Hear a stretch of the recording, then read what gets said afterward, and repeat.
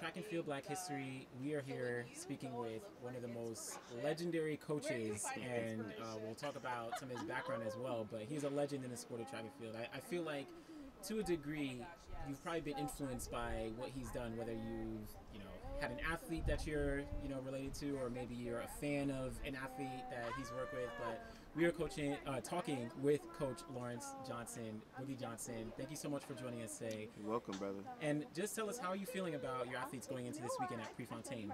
I feel good about uh, the preparation work we've done to, you know, get to this point in the season. Again, you know, everything for us is always preparation for the U.S. Championships and World Championships and beyond. So, pre is uh, we treat all the diamond leagues and the meets kind of like dress rehearsal to the big meets, uh, which is championships, uh, part of the season. So I feel good about the preparation that we've done thus far.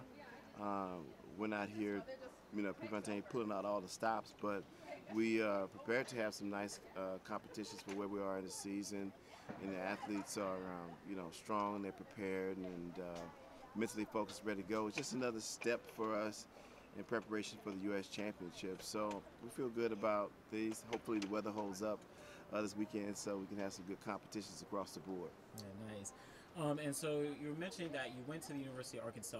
I mean, you competed there in the 400 and a couple other events, right? So mm-hmm. talk about what got you not only into track, but like to the University of um, Arkansas and what that experience was like.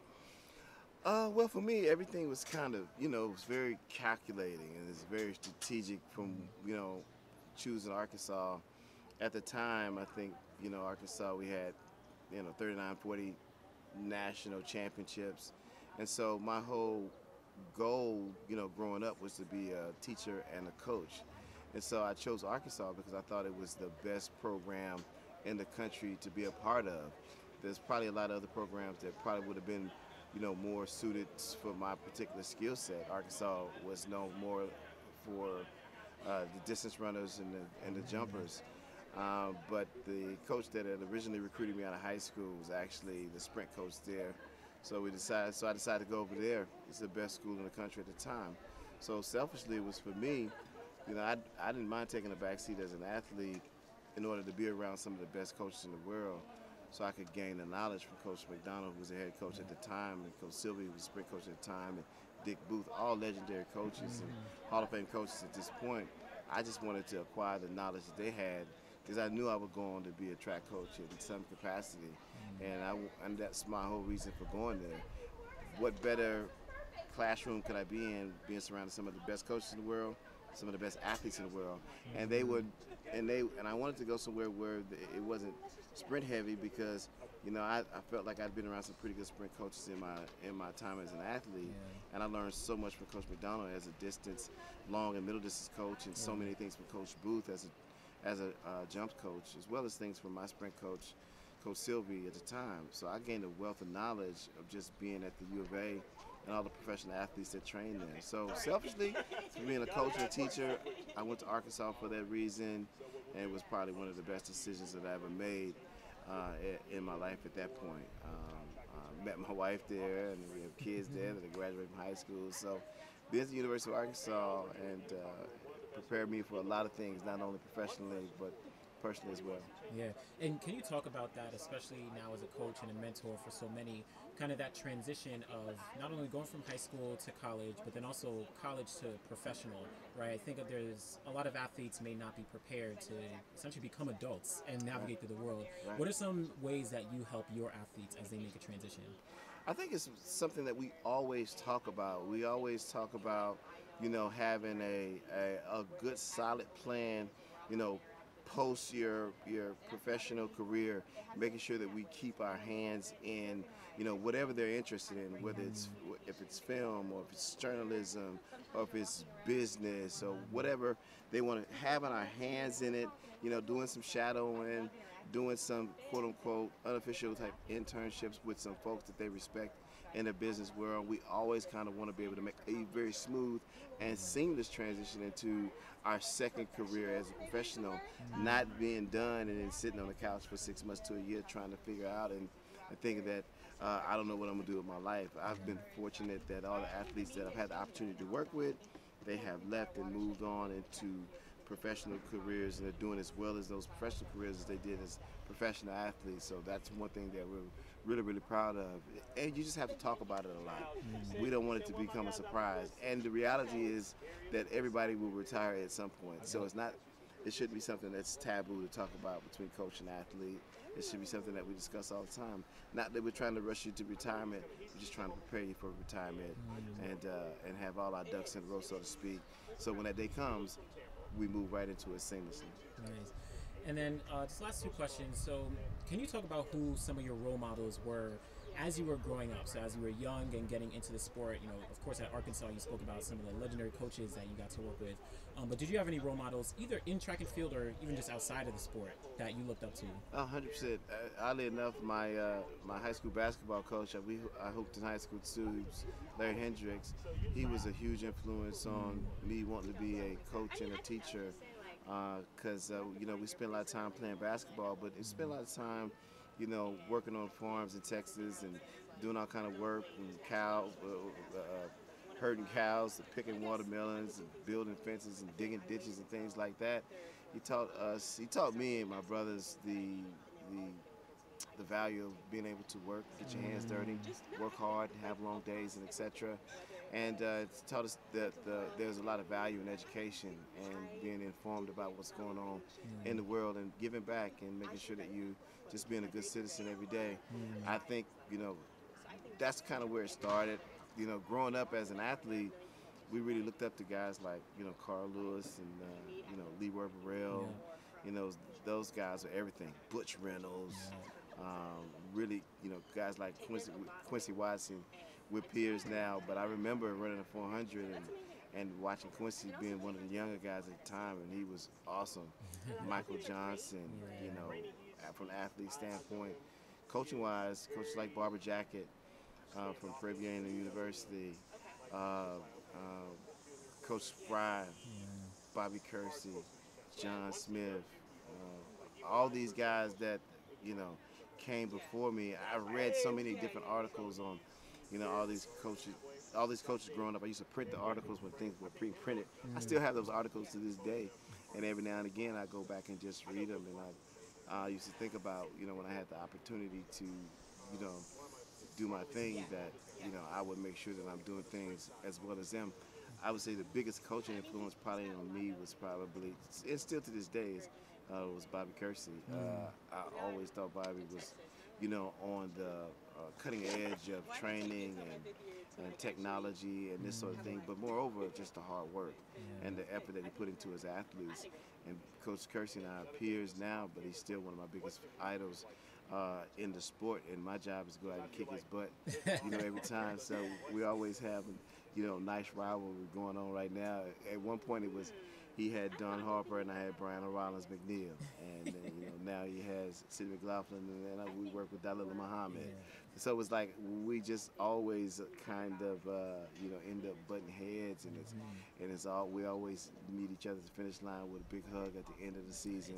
But you know throughout the season we're going at it, you know, pretty tough. uh, but you know he's one of my biggest track and field idols. He and John Smith, and uh, I get to work with these guys all the time, and uh, share a track a track with John over at West LA mm-hmm. for a period of time, and just getting that opportunity is sometimes it's surreal. It's like man, I grew up reading about these guys and idolizing these guys, and now we work together on a lot of mm-hmm. things, and, and they respect me as their peer. Mm-hmm. And so it's uh, it's been a fun ride, you know, so far, and I uh, hopefully we can continue to you know make strides in in, in the sport and uh, and give back and make a difference uh, where we need to. Yeah. Just uh, one other question before I get to my final kind of different question, but um, just thinking of what you've done, right? You were mentioning, you know, Dalilah Muhammad. You've coached um, uh, Brianna Rollins McNeal. You've coached even Kerron Clement, um, Queen Harrison, right? Mm-hmm. A plethora of well-accomplished hurdlers, and you're known as the hurdle mechanic. Yeah. But you also have coached and do coach a plethora of different flat sprinters, right? I mean, yeah. you have like Bryce Deadmon, I think, yeah. and yeah. Will London, I think, right? So, yeah. do you? How, how do you like approach that where maybe the public sees you as a hurdle coach but you got some quality sprinters. Yeah, I think by and large, I think that if you ask, you know, the average, you know, knowledgeable track and field fan, they would certainly make that association with Boogie Johnson, hurdle mechanic, hurdles. But I think that, you know, you know, when I coached at Virginia Tech, I've coached at Southern Illinois, I've coached at Clemson, and we've always coached sprinters along the way. Yep. Um, um, I think that you know, I think, and I love the art of hurdling because you know it's a real technical event. You really got to get your hands dirty. You got to really coach. You got to really be a mechanic. Um, I think that you know, venturing off into coaching more professional sprint athletes now is just me showing that me wanting to to to not only show the world but show different athletes that Yeah. you know my philosophy is always if I can coach you going over things. I certainly can coach you when there's nothing in the way. There's no obstacles. it's just uh, uh, I think that I'm intelligent enough and studied enough to get it done. And uh, we've been fortunate to have some some good sprinters in the camp now, young sprinters in the camp now. And it, it wasn't like I was adverse to it initially, but I really wanted. I had set a lot a lot of goals. Yeah. To have a world champion and Olympic champion in high hurdles. I want to have a world champion and Olympic champion in the women's 400 hurdles. Yeah. And I think after you kind of start checking the boxes on some things you want to do, now we got to, uh, you know, branch out a little bit. And Now we like to have an Olympic champion, a world champion in the men's 400 and the women's 400 and the 100 and the 200. So just moving along, check the boxes. I think my ultimate goal is, is to have a, a world champion or Olympic gold medalist in the uh, in the steeplechase. Uh, um, I think that checked my last hurdle box right there. so, and I think we can get it done. So I'm very ambitious as it relates to these things. Uh, uh, willing to do the work and to study and to make it happen, and excited about coming out to the track every day. So why not? Nice. We gotta we gotta get some of the distance athletes to hit you up. Yeah, get yeah, that steeplechase box yeah, off. yeah. So that kind of does lead to my last question. Um, so you compete in the 400, um, but if you can compete in any other event that's not your primary event, and you may have dabbled like you've gone up, gone down, but something completely out there, what event would you choose to compete in? I think you know, knowing what I know now, I think I definitely would have competed in the 400 hurdle event. Beautiful event. Yeah. It takes a. I think it really, if it's a look back, it had all the things that I was good at. Wasn't the fastest sprinter, but I was strong. Could run Yeah. good 600s and fives. Yeah. Um, uh, was kind of athletic and always had was really flexible and had Yeah. good hip mobility. So I think that if I had to really start my career, with, maybe I'd give myself another three inches in height, and uh, and I'd run the men's 400 hurdles. I think that would have been a lot of fun. Oh man, do you what do you think you could have run? I mean, they they hit 45s now. I know that's 45 is at 45 is like a walk in the park for some of these uh, stud athletes today. Man, I th- I tell you what, if I could have run here 48 mid back in my day, I would have been happy as uh, as anybody. Uh, but uh, to, 48 doesn't buy you a cup of coffee with today's standards, so Right. maybe I had to get my game up a little bit Right? I, I was actually speaking with uh, with Steve Lewis Right. and Mark Everett, Right. and they also said that they would have done 400 hurdles. Yeah. But they say back in the 90s, they probably could have run 45 in the hurdles. So Listen, I, I don't disagree. I think, you know, the quarter mile was certainly better in the 90s and in the 80s than it is now. No shade against the guys that we got out here now. But those cats were running under 44 seconds pretty consistently Yeah. back in the day. Lee Yeah. Evans and all these guys, they were doing it. So now we get a guy under 44 seconds, it's like a big deal. But back in the gap, that was like five or six dudes. Yeah. And then again, in 44 seconds, it wasn't nothing but a thing. nothing. Like you get fifth, sixth. Yeah. So I'm like, the quarter mile was a better event back in the day. It was a lot, certainly a lot more consistent and more competitive. And I think we have to really work to get back there Yeah. now. Uh, those guys were beautiful athletes back in the day, and I think sometimes we we uh, lose some of those athletes to different sports, football and basketball and what have you, yeah. where track and field was kind of more of a primary sport back Yeah. then because it was the money wasn't in the NFL and NBA like it is now. Yeah.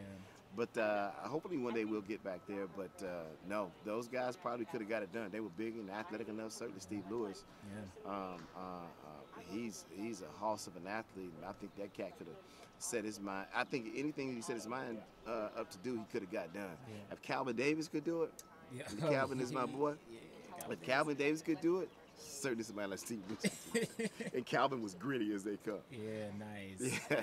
Oh man, really do appreciate it. I really appreciate you dropping so much knowledge, and then dropping so much information and so many different things um, Yeah. for athletes. Not only like you know you're a coach, you get technical, but Yeah. like there's a lot of other things that go into an athlete. Yeah. So appreciate Yeah, it. I, I enjoy the sport of track and field on all levels.